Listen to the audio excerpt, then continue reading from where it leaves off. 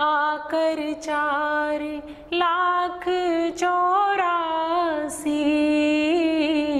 जात जीव जल थल नभवासी।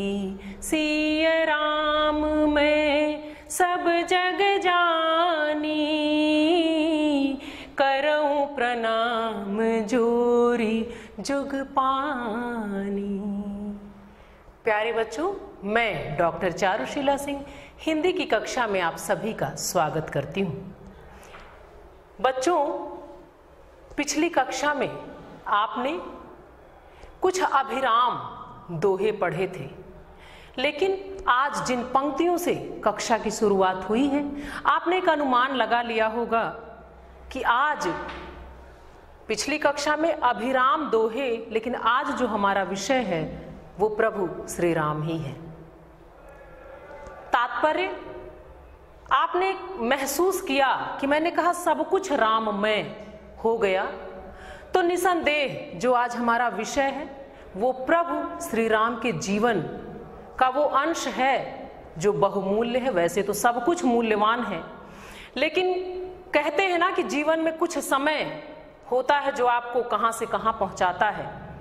हम भगवान श्री राम के जीवन के उस अंश को पढ़ने जा रहे हैं जहाँ से मर्यादा पुरुषोत्तम भगवान श्री राम हमें मिले थे। जो प्रभु, जो राम जी वन को गए थे, वो कौन थे? वो दशरथ नंदन राम थे। लेकिन जो वहाँ से लौट कर आए थे, वो मर्यादा पुरुषोत्तम भगवान श्री राम थे। आज का जो हमारा विषय है, सब कुछ राममय की बात हो गई है। तो आइए, इस अभिराम, इस रमणीय राममय माहौल को जीवंत करते हैं आज हम और आप। मैथिली शरण गुप्त जी की बहुचर्चित रचना, जो खंड काव्य है पंचवटी, और आपकी पाठ्य पुस्तक में काव्य खंड के अंतर्गत संकलित है। तो आज का जो हमारा प्रकरण है बच्चों, पंचवटी भाग एक। भाग एक इसलिए, क्योंकि पाठ बड़ा है, हम दो दिनों में पढ़ेंगे। रचयिता मैथिली शरण गुप्त जी, मैं प्रस्तुत करता डॉक्टर चारुशिला सिंह। आइए बच्चों, आगे बढ़ें। और सबसे पहले प्राप्त करते हैं पाठ का एक संक्षिप्त परिचय कि क्या है इसमें। क्योंकि आप जानते हैं कि ये जो सामान्य सा एक हम परिचय प्राप्त करते हैं, ये पूरे पाठ में हमारे लिए बहुत ही उपयोगी सिद्ध होता है। और ये सामान्य जानकारी आपको पूरे पाठ को ग्राह्य करने में एक विशिष्ट योगदान देता है। तो इसकी उपेक्षा हम नहीं कर सकते। परिचय के महत्व से हम और आप दोनों ही परिचित हैं। आइए अविलंब प्राप्त करें पाठ का एक संक्षिप्त परिचय। आपके समक्ष परिचय। ध्यान दे बच्चों, जो शीर्षक है, जो पढ़ेंगे आज, पंचवटी के नाम से ही आपकी पाठ्य पुस्तक में संकलित भी है और ये बहुचर्चित खंड काव्य है पंचवटी। अभी परिचय के क्रम में चर्चा और होगी और भाग एक, अर्थात आज एक भाग हम पढ़ेंगे।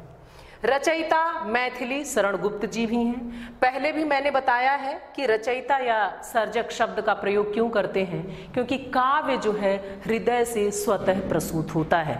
इसे रचा जाता है, लिखा नहीं जाता। आगे बढ़े, भाषा खड़ी बोली।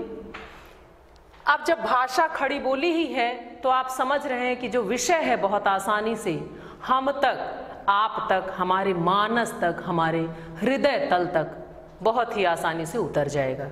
क्योंकि बच्चों, जब भाषाई एकता होती है तो विषय कठिन होते हुए, दुरु होते हुए भी हमें आसान लगने लगता है। लेकिन विषय कितना ही आसान, सरल क्यों ना हो, अगर भाषाई एकता नहीं होती तो थोड़ी कठिनता हम और आप महसूस करते हैं। तो क्योंकि ये हमारे हर दिन के व्यवहार की भाषा है, इसलिए जो ये विषय है, बहुत आसानी से हमारे और आप तक पहुंचेगा। और जब बात ही हो रही है, मानस सहज ही साकार हो उठता है, जैसे ही हम भगवान राम का नाम लेते हैं। तो आप जान ही रहे हैं कि अब ये मन मानस जो है, वो उसमें कुछ ना कुछ चलने लगा है। हम मानसिक रूप से भी पूरी तरह तैयार हो चुके हैं। आगे देखें, शैली क्या है? देखिए बच्चों, बात हुई ना कि ये खंड काव्य है तो जिस तरह का है, बड़ा है। तो हर अंश में तरह तरह के भाव आए हैं, जहाँ जैसी पंक्तियाँ आई हैं, जो कवि को कहना है तो कई सारे भावों के रूप हमारे समक्ष आएँगे, जो शैली है, देखिए उसमें क्या क्या गीतात्मकता तो है ही है। चित्रात्मक, वर्णनात्मक, भावात्मक, और जो ये रूप हैं शैली के, ये विविध दिख रहे हैं, ये आप अभी पंक्तियों में महसूस भी करेंगे पंचवटी को पढ़ते हुए। और आगे देखिए, जो छंद है, वो मात्रिक छंद है। आपने पढ़ा भी है छंद के प्रकार में कि मात्रिक और वर्णिक दो होते हैं तो यहाँ जो हम पढ़ रहे हैं, वो छंद जो है, वो मात्रिक है। गुण देखें माधुर्य प्रसाद और ऊज सभी गुण है। लगभग सभी रस भी इसी तरह पाए जाएँगे। रस, श्रृंगार, अद्भुत एवं शांत। तो जैसी जैसी पंक्तियाँ आएँगी, उसी तरह ये विविध रूप हमारे समक्ष आएँगे और पंक्तियों से होते हुए हमारे और आपके मन मानस में उतरेंगे। आइए देखते हैं जो ये अद्भुत सृजन है। इसके जो सृजन करता है उनका व्यक्तित्व कैसा है? उनका जीवन कैसा है? उनकी अन्य रचनाएँ क्या हैं? उनका योगदान क्या है? और चलते हैं ये जानने के लिए कवि परिचय की ओर और, और एक संक्षिप्त परिचय कवि का हम और आप प्राप्त करते हैं। ध्यान दे बच्चों कवि परिचय। इससे भी हम परिचित हो लें और जिस कवि के बारे में आप अभी परिचित जिससे होने जा रहे हैं जिसको आज आप पढ़ रहे हैं मैथिली शरण गुप्त जी को आप ये जान लें कि आप इसे लगातार बढ़ती कक्षाओं में भी पढ़ते रहेंगे। कुछ न कुछ पाठ आपके रहेंगे, आप इंटर में भी पढ़ेंगे, आप हाई स्कूल में भी पढ़ेंगे। तो ध्यान से परिचय को अपने मानस में ऐसे बैठा लें कि कभी ये विस्मृत ना हो सके और वस्तुतः देखा जाए तो आपका व्यक्तित्व और आपका कृतित्व दोनों ही अविस्मरणीय है। कैसे? आइए एक संक्षिप्त जानकारी लें। नाम मैथिली शरण गुप्त पिता का नाम श्री रामचरण गुप्त। आगे देखें, जन्म जो है, वो सन अठारह ईस्वी में हुआ। किस जगह हुआ है? ध्यान दीजिए, जन्म स्थान। गुप्त जी का जो जन्म है, वो चिरगांव, झांसी में हुआ, जो उत्तर प्रदेश में ही स्थित है। लेखन विधा जो आपकी है, वो है काव्य, जो हम आप पढ़ रहे हैं। भाषा देखें, बच्चों कैसी है, बहुत ध्यान दीजिएगा, शुद्ध साहित्यिक तथा परिमार्जित खड़ी बोली। खड़ी बोली है, लेकिन परिमार्जित अर्थात ये दोषों से मुक्त है। तो आप ध्यान दें कि भाषा के स्वरूप पर भी ध्यान दें, शैली देखें कि किन किन शैलियों में आपने काम किया है, लिखा है? प्रबंधात्मक, अलंकृत, उपदेशात्मक, विवरणात्मक और मिश्र। इतने रूपों में आपकी रचनाओं को, आपके सृजन को हम पाते हैं। आइए, प्रमुख रचनाओं के बारे में, कृतियों के बारे में जाने। ये वो पड़ाव है, बच्चों, ध्यान दें, ये जो देख रहे हैं आप, आपके समक्ष है, ये तो एक संक्षिप्त परिचय है। लेकिन वस्तुतः किसी कवि, किसी लेखक के जीवन का जो सबसे महत्वपूर्ण योगदान होता है, जिसके लिए वो युगों हमारे आपके मानस में और आम जनजीवन के मानस में पैठ बनाते हैं, वो क्षेत्र यही है, सृजन का, रचना का। तो यहाँ ध्यान दें, जो महत्वपूर्ण रचनाएँ हैं, वो कौन कौन सी हैं? भारत भारती, साकेत, यशोधरा, द्वापर, जय भारत, विष्णुप्रिया, पंचवटी आदि। ये वो महत्वपूर्ण रचनाएँ जिनके लिए आप लगभग हर समय में प्रासंगिक रहे हैं और रहेंगे। हम आप, आपके इस योगदान के लिए कभी भी आपको विस्मृत कर ही नहीं सकते, क्योंकि जब भी बात होगी राष्ट्र की, जब भी बात होगी भारत माता की, जब भी बात होगी अस्मिता की और अपने यहाँ के वैभव की आप सहज ही साकार हो जाएँगे। क्योंकि जो आपका चरित्र रहा, जो आपका कृतित्व रहा, वो ऐसा ही था। आपने अपनी माँ के यशोगान में अपनी लेखनी खूब चलाई है। आप राष्ट्र और आगे बढ़ते हैं बच्चों। अभी चर्चा को थोड़ा सा विस्तार में दूँगी। देखिए, जन्म आपने अभी देखा, अठारह ईस्वी। मृत्यु देखे सन उन्नीस सौ ईस्वी। साहित्य में स्थान थोड़ा सा ध्यान दीजिएगा कि यहाँ बहुत विस्तृत रूप में न लिखकर सिर्फ़ इतना ही लिखा है मैंने राष्ट्र कवि के रूप में। क्योंकि वस्तुतः आपको तो ये एक छोटा सा वाक्य दिख रहा है और राष्ट्र कवि कहना एक शब्द दिख रहा है, लेकिन सच कहें तो ये पूरे जीवन की वो थाती है, वो पूंजी है, वो निधि है जिसे हम और आप संजो कर अभी वर्षों जाने कब तक लेकर चलते रहेंगे, कभी विस्मृत नहीं कर पाएँगे, क्योंकि ये उपाधि यूँ ही नहीं मिलती। आपकी प्रज्ञा, आपकी मेधा, आपके कर्म ही रहे, जो आपको इस रूप में स्थापित कर दिया गया, क्योंकि ये उपाधि बहुत बड़ी होती है, यूँ ही नहीं मिलती। और एक प्रसंग जो आपके लिए है, कहा जाता है, देखें बच्चों, अभी पिता का नाम हुआ था कि रामचरण गुप्त जी तो आप जान लें, ये भी कवि थे। कुछ चीज़ें हम अर्जित करते हैं, लेकिन कुछ वंशानुगत हमें और आपको प्राप्त होती हैं, ये हम सभी जानते हैं। तो अगर कहें तो जो ये दक्षता थी, ये जो काव्यात्मकता थी, ये जो अभिरुचि थी लेखन की, सृजन की, वो गुप्त जी को अपने पिता से ही कह सकते हैं, विरासत में मिली हुई थी, क्योंकि आपके पिता भी कवि थे। और कहते हैं कि गुप्त जी छोटी आयु में एक छप्पे लिखते हैं, एक छोटी कविता, और अपने पिता को दिखाते हैं। पिता अति आह्लादित हो जाते हैं और उस आह्लाद में, उस प्रसन्नता में, उस मोह में अपने पुत्र को सुकवि होने का आशीष प्रदान करते हैं। पुत्र ने भी उस आशीष को जी लिया, जीवंत कर दिया और इतना लिखा, ऐसा लिखा, इस रूप में लिखा कि वो राष्ट्र कवि के रूप में हम और सब के बीच हमारे मानस में, मन में, हमारी किताबों में और हर जगह स्थापित हो गए राष्ट्र कवि के रूप में। तो बच्चों एक संक्षिप्त चर्चा कवि के बारे में हुई। बहुत सारी उपाधियाँ, बहुत सारे नाम बहुत कुछ आपने प्राप्त किए हैं। आप सभी विस्तृत रूप से अपनी पुस्तकों को पढ़िएगा, जानिएगा। ये एक संक्षिप्त चर्चा हुई। आइए, अब मुख्य विषय की ओर चलें। और सबसे पहला काम, पाठ का मूल भाव पाठ के मूल भाव से परिचित हों। मूल भाव, अर्थात वो केंद्रीय भाव, वो प्रधान भाव, जिनको लेकर सर्जना हुई है। जैसा कि आपने अभी सुना कि ये पाठ बड़ा आप दो दिनों में पढ़ेंगे। तो जो जो अंश हमारे और आपके समक्ष जो चरण आएँगे, लंबा है, नौ है तो आज हम ये जो तीन पढ़ने वाले हैं, उसके केंद्र में कौन से भाव प्रधान हैं? उसकी एक संक्षिप्त चर्चा यहाँ आपके समक्ष है, आगे इन्हीं पंक्तियों को हम विस्तार देंगे।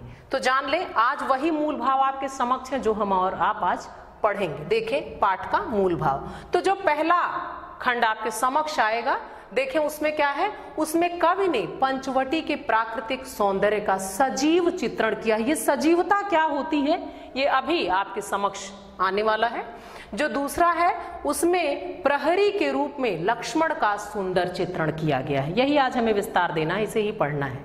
और देखें जो तीसरा हम पढ़ेंगे, उसमें राम जी और सीता जी की कुटी का पहरा देते हुए लक्ष्मण जी की जो विशेषताएँ हैं, उसका वर्णन किया गया है। इन्हीं भावों को आगे पंक्तियों में विस्तार दिया गया है। आइए चलते हैं, विस्तृत अर्थों में प्रवेश करते हैं और जानते हैं पंचवटी के उस सौंदर्य को, उस आह्लाद को, जिसके कारण ये जो नाम है, देखें, ये जो जगह है, वो ऐतिहासिक है।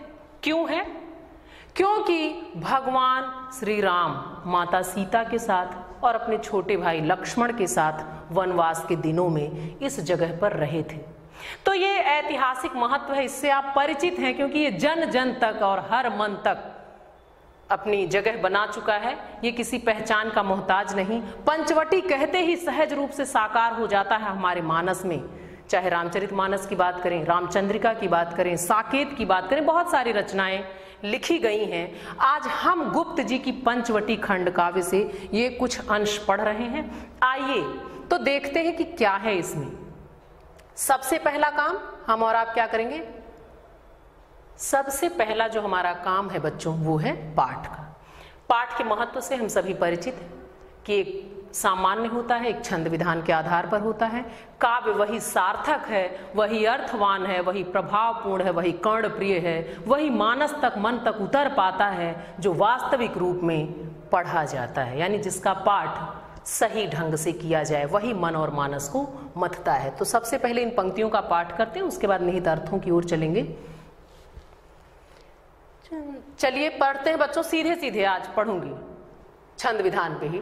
चारु चंद की चंचल किरणें खेल रही हैं जल थल में, स्वच्छ चांदनी बिछी हुई है, अवन और अंबर तल में। पुलक प्रकट करती है धरती, पुलक प्रकट करती है धरती, हरित तृणों के नोकों से मानो झीम रहे हैं तरु भी, मंद पवन के झोंकों से मानो झीम रहे हैं तरु भी, मंद पवन के झोंकों से। तो जिस गीतात्मकता की बात हुई थी, जिस गेयता की बात हुई थी, वो यही। आइए, अब निहित अर्थों की तरफ़ चलते हैं कि कवि क्या बताना चाह रहे हैं। इसमें अभी आपने मूल भाव में जाना कि पंचवटी के सौंदर्य का वर्णन किया गया है कि कैसी आभा है, जहाँ राम, भगवान श्री राम की उपस्थिति हो, वो जगह तो स्वयं ही अभिराम हो जाएगा। तो वो कितना अभिराम है, कैसा है, प्रकृति किस तरह उल्लसित है, इसी का वर्णन इन पंक्तियों में किया गया है। ध्यान दें कि कवि क्या कहते हैं चारु चंद की चंचल किरणें खेल रही हैं जलथल में कि प्रभु है उस समय पंचवटी का जो सौंदर्य है, रात्रि का प्रहर है। चारु चंद्र की चंचल, क्योंकि जब बात चंद्रमा की होती है, आप समझ जाते हैं कि कब की बात हो रही है। तो कवि कहते हैं कि चारु मतलब सुंदर और चंद्र मतलब चंद्रमा। सुंदर चंद्रमा की चंचल किरणें। चंचल क्यों कहा? बच्चों, ध्यान दीजिए, चंचल इसलिए क्योंकि एक जगह ये किरण नहीं है, ये फैली हुई है। तो जो चंचल है, वो हर जगह यहाँ, वहाँ, जहाँ तहां हर जगह होता है। इसलिए इन किरणों का और किरणों का प्रसार भी ऐसे ही होता है। तो कवि कहते हैं कि सुंदर चंद्रमा की चंचल जो किरणें हैं, वो खेल रही हैं जल थल में। कि वो जल में और थल में, कि जो भूमि है और जो जल है, दोनों पर वो खेल रही हैं, क्रीड़ा कर रही हैं। स्वच्छ चांदनी बिछी हुई है अवनी और अंबर तल में। वो कहते हैं कि एक स्वच्छ यानी निर्मल चांदनी बिछी हुई है। कहाँ से? बिछना मतलब फैला होना। आवनी और अंबर। आवनी मतलब पृथ्वी और अंबर मतलब आकाश। की वो वहाँ से लेके यहाँ तक, धरती से आकाश तक। स्वच्छ चांदनी, निर्मल चांदनी जो छिटकी हुई है, बिखरी हुई है तो ऐसा लग रहा है कि सुंदर चंद्रमा की चंचल किरणें वो जलथल में खेल रही हैं। आगे पुलक प्रकट करती है धरती हरित तृणों के नोकों से। और जब ये भगवान की उपस्थिति वहाँ है। तो जो ये आह्लादित वातावरण है, जो ये मनहर वातावरण है, जो ये मोहक वातावरण है, उसमें देखिए कि क्या कहते हैं, पुलक। पुलक मतलब प्रसन्नता, आह्लाद। पुलक प्रकट करती है धरती हरित तृणों की नोकों से। ये जो धरा है वो इतनी आह्लादित है, इतनी प्रसन्न है, लेकिन वो अपनी पुलक, यानी अपनी प्रसन्नता कैसे प्रकट कर रही है? हरित त्रिड़ों के नोकों से। वो जब नोक घास के जो हरे हरे घास हैं, उनके नोक हिल रहे हैं तो ऐसा पता चल रहा है कि जो धरती हो अपनी प्रसन्नता। प्रकट कर रही है। मानो झीम रहे हैं तरु भी मंद पवन के झोंकों से। और जो मंद पवन धीरे धीरे जो हल्की ठंडी हवा बह रही है तो उससे मानो झीम मतलब झूमना, हिलना। मानो झीम रहे हैं तरु मतलब पेड़। भी मंद पवन के झोंकों से कि जो धीरे धीरे हल्की पवन, जो मंद पवन बह रही है, जो हवा चल रही है, वो भी प्रसन्न है और उसके साथ जो तरु हैं, जो पेड़ हैं, वो भी मानो झूम रहे हैं। कैसे? प्रसन्न होकर, आह्लादित होकर, क्योंकि आज वहाँ प्रभु श्री राम विराजे हैं। तो जो ये प्राकृतिक सौंदर्य है पंचवटी का, वो अद्भुत कवि के शब्दों में हमारे और आपके समक्ष कवि ने बहुत ही सुंदर वर्णन किया कि धरती से लेके आकाश तक सब कुछ अति आह्लादित है। और उसमें उन्होंने चंद्रमा को भी ले लिया, धरा को भी ले लिया, घास को भी ले लिया, वृक्षों को भी ले लिया, पवन को भी ले लिया। आप देखें ये जो आह्लाद का प्रसार इन पंक्तियों से है, वो हमारे और आपके मन मानस में भी उतर रहा है। और गुप्त जी की ये जो दक्षता है, जो कौशल है ये हमारे और आपके मन को बाँध भी रहा है। आइए और आगे बढ़ते हैं बच्चों और देखते हैं अगली पंक्तियों को। अब आप देखिए, दूसरे में बात की गई लक्ष्मण के बारे में यहाँ बताया जा रहा है कि वो प्रहरी बने हैं तो कैसे हैं, क्या है? चलिए देखते हैं क्या है इन पंक्तियों में सबसे पहले पाठ। पंचवटी की छाया में है, सुंदर पड़ कुटीर बना। उसके सम्मुख स्वच्छ शिला पर धीर वीर निर्भीक मना। जाग रहा यह कौन धनुर्धर, जबकि भुवन भर सोता है? प्रश्नवाचक। भोगी कुसुमायुध योगी सा बना दृष्टिगत होता है। बच्चों, देखें, कि अद्भुत सौंदर्य है। बात सिर्फ़ इतनी कहनी है कि जो लक्ष्मण हैं, वो क्या कर रहे हैं? वो राज्य के सुखों का भोग करने के लिए बने हैं, लेकिन योगी बनकर दिख रहे हैं। लेकिन जिस तरह से ये सौंदर्य यहाँ इन पंक्तियों में वर्णित है, वो अद्भुत है। आइए चलते हैं और पूरे अर्थ को जानते हैं, इसके मर्म को समझते हैं, और हम भी जीते हैं उस पंचवटी के सौंदर्य को इन पंक्तियों के माध्यम से, जहाँ हम और आप यूँ ही तो पहुँच नहीं सकते। वो प्रभु हैं, आराध्य हैं, लेकिन उनकी इस जीवन लीला को, इस जगह को जहाँ वो रहे, इसकी रमणीयता को, इसके सौंदर्य को हम और आप, गुप्त जी की इस बहुचर्चित रचना पंचवटी के माध्यम से अवश्य ही महसूस कर सकते हैं और इसको अपने मानस में बिठा सकते हैं। आइए देखें अर्थ।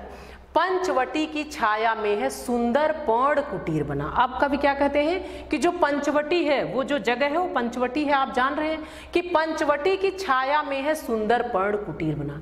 कि जो पंचवटी है, उसकी छाया में, उसमें एक जगह सुंदर पर्ण कुटीर पर्ण मतलब पत्ता और कुटीर मतलब कुटी, कि वहाँ एक सुंदर पत्तों की कुटी बन गई है। उसके सम्मुख स्वच्छ शिला पर धीर वीर निर्भीक बना। तो जो कुटी है, कौन सी? जो पत्तों से बनी है, जो पर्ण कुटी है, जो पंचवटी की छाया में सुंदर पत्तों से कुटी बनी हुई है, उसके सामने सम्मुख मतलब सामने और स्वच्छ मतलब साफ़, निर्मल एक शिला है, पत्थर का खंड है, उस पर धीर वीर निर्भीक मना। उस पर एक धैर्यवान जो वीर है, जो देखने से निर्भीक भी लग रहा है, ऐसा कोई बैठा है। अब देखिए कवि की कल्पना और वो कैसे इस बात को बता रहे हैं, जाग रहा यह कौन धनुर्धर जब कि भुवन भर सोता है? प्रश्नवाचक लगा है।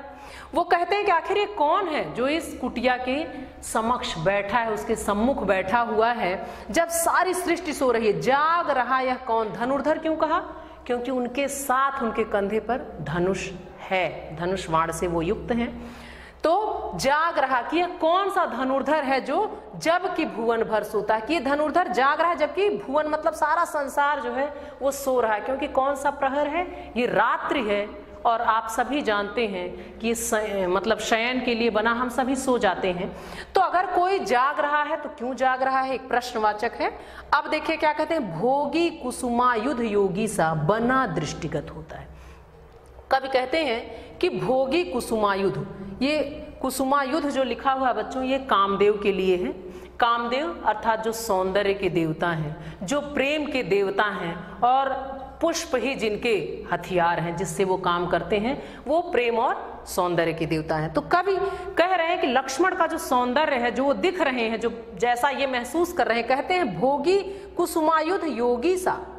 कि जो कामदेव की तरह सुंदर है, अभिराम है, और जो राज्य के सुखों का भोग करने वाला दिख रहा है, जिसको भोगना चाहिए, जिसकी कोमलता जिसकी वीरता, जिसकी निर्भीकता, जिसका धैर्य बता रहा है कि उसको भोगी होना चाहिए। वो योगी सा, योगी के जैसा दृष्टिगत हो रहा है, बना दृष्टिगत हो रहा, योगी के जैसा बना हुआ दिखाई दे रहा है। तो जब सारा भुवन सो रहा है तो ये धनुर्धर कौन है? ये प्रश्न कवि कर रहे हैं। आगे और आगे चले। अब देखिए, यहाँ भी अभी लक्ष्मण की ही चर्चा है। अगली पंक्तियों में सबसे पहले इसके पाठ की बारी, उसके बाद हम नीत अर्थों में चलेंगे। किस व्रत में है व्रति वीर, यह निद्रा का यो त्याग किए? राजभोग्य के योग्य विपिन में बैठा आज विराग लिए। बना हुआ है प्रहरी जिसका, उस कुटीर में क्या धन है? जिसकी रक्षा में रत इसका, तन है, मन है, जीवन है। बहुत बड़ी बात कही गई है बच्चों। और आप देखें तो किस तरह कवि ने कह दिया, आइए इन पंक्तियों में डूबते हैं, इनमें उतर जाते हैं, क्योंकि जो गहरे उतरता है वही मोती। प्राप्त करता है तो जो ये गंभीर अर्थ हैं, वो हमारे और आपके अंदर घुलने के लिए तैयार है, लेकिन उसके लिए हमें और आपको मन से इसमें उतरना पड़ेगा, इससे जुड़ना पड़ेगा। आपने इस चर्चा को मन से सुन लिया तो कभी विस्मृत भी नहीं कर पाएँगे। ध्यान दें, अब कवि क्या कह रहे हैं? किस व्रत में है व्रति वीर यह निद्रा का त्याग की? अभी आपने कि प्रश्नवाचक था कि ये कौन धनुर्धर है? अब कहते हैं कि कौन सा ऐसा व्रत ले लिया है? कौन सी ऐसी प्रतिज्ञा है व्रति वीर और इस वीर ने ऐसी कौन सी प्रतिज्ञा ले ली है? क्या व्रत है जिसके कारण निद्रा का यो त्याग? की जिसके कारण इसने अपनी नींद का त्याग कर दिया है? राजभोग्य के योग्य विपिन में बैठा आज विरागली। और जो राज के सुखों का भोग करने योग्य है, वो कहा आ गया है विपिन में? कहा जंगल में आ गया है? क्यों? बैठा आज विराग लिए। इसने कौन सा व्रत ले लिया जिसके कारण आज वैराग्य भाव? कि सुखों का भोग जिसको राज के सुख का भोग करना चाहिए, वो विपिन में अर्थात जंगल में आ गया है। बैठा आज विराग लिए। वो आज वैराग्य लेकर इस जंगल में क्या कर रहा है? बना हुआ है प्रहरी जिसका उस कुटीर में क्या धन है? फिर वो कहते हैं कि बना हुआ है प्रहरी जिसका, क्योंकि अभी आपने शुरुआत हुई कि एक कुटिया है और उसके समक्ष, उसके सम्मुख एक शिला पर बैठे हुए हैं लक्ष्मण। तो अब कह रहे हैं, बना हुआ है प्रहरी, जिसका प्रहरी मतलब रखवाल, रखवाला जो होता है उसके लिए प्रहरी। कि ये आखिर किसका पहरा दे रहे हैं? उस कुटी में ऐसा क्या धन है? बना हुआ है प्रहरी, जिसका उस कुटीर में क्या धन है? कि उस कुटी में ऐसा कौन सा धन है कि वीर जो है प्रहरी बना है, जिसकी रक्षा में रत इसका तन है, मन है, जीवन है? और वो धन कैसा है? कि जिसकी रक्षा के लिए, जिसकी रखवाली के लिए तन भी अर्पित है, मन भी अर्पित है, जीवन भी अर्पित है। क्योंकि बच्चों, आप जान रहे हैं कि जब वो जंगल है, जब वो विपिन है और वो कुटिया है समक्ष तो सब कुछ अर्पित करना पड़ेगा। वहाँ मन है, तभी तन बैठा हुआ है। और जीवन इसलिए कहा क्योंकि जब जंगल है तो वहाँ जीवन का संकट भी है। आप इसमें देखें, इसमें बहुत ही गहरे अर्थ समाये हुए हैं। तन है, मन है, जीवन है। ये तीनों जुड़े हैं। कि कवि कहते हैं, ऐसा कौन सा धन है जिसके कारण इस वीर ने एक व्रत ले लिया है और अपना तन, मन और जीवन सब अर्पित कर दिया है इसकी रक्षा के हेतु? आइए अब जो हमने अभी तीसरा पढ़ा, उसके पंक्तियों के काव्य सौंदर्य की ओर चले।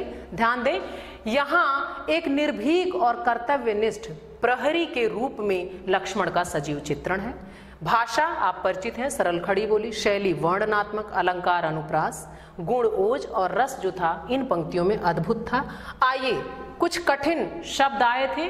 वैसे तो मैं कहती हूँ, हर पाठ के बाद कि आप अवश्य पढ़ लिया करें, फिर भी आपके समक्ष चारु, अर्थात सुंदर, अवनी मतलब पृथ्वी, पुलक मतलब प्रसन्नता पर्णकुटी पत्तों की कुटिया, कुसुमायुध, कामदेव के लिए प्रयुक्त, भुवन मतलब संसार। आइए और आगे चलते हैं गृह कार्य की ओर। अभी आपको पता ही है कि हमें दो भागों में इस पाठ को पढ़ना है तो आज आपके लिए कुछ गृह कार्य, आप देखें क्या क्या आपको करना है। कठिन शब्दों के अर्थ पुस्तक से आप पढ़ लें, जिससे और भी आसानी से विषय आप तक पहुँच सके। चार चंद की चंचल किरणें खेल रही हैं जलथल में। उपरयुक्त पंक्ति में अलंकार स्पष्ट करना है। आपने अलंकार को पढ़ते हुए भी पढ़ा था और मैंने यही उदाहरण दिया था। आप पहचाने, प्रयास करें, नहीं समझ में आएगा तो पुनः आपको बताया जाएगा। और देखें, शेष अंशों का सस्वर पाठ घर पर करें। सस्वर क्यों कहा गया? क्योंकि बात गेयता की हुई थी और काव्य के पाठ का एक तरीका है। उस तरीके पर आप काव्य का पाठ करेंगे तो ये पंक्तियाँ आपके मन मानस में बैठ जाएँगी। संप्राप्ति हमने और आपने, आज क्या पाया? आज हम परिचित हुए हैं। मैथिली शरण गुप्त जी के परिचय से। क्योंकि हमने बहुत कुछ सुना है, बहुत कुछ जाना है, लेकिन आज पंचवटी की इन पंक्तियों के माध्यम से हमने महसूस किया है। कि वास्तविकता में जो कहा जाता है, वो कितना सत्य है? और पंचवटी खंड काव्य अगर इतनी प्रसिद्धि को प्राप्त है, इतना गाया, सुना, समझा, पढ़ा जाता है तो क्यों? उसके कुछ अंशों को हमने पढ़ा। शेष के साथ पुनः मुलाकात होगी। आज के लिए बस इतना ही। धन्यवाद।